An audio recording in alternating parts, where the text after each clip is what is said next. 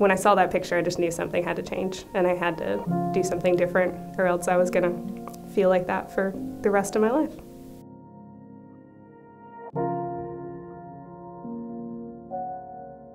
The worst thing about sleep apnea is that uh, I feel exhausted all the time.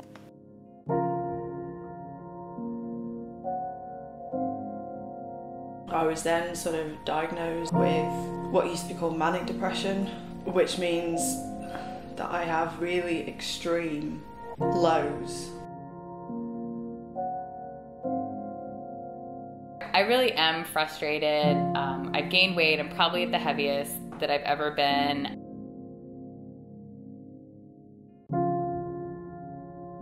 I went straight to the ER, and that's when I uh, had my first panic attack. I was freaking out, driving to the ER.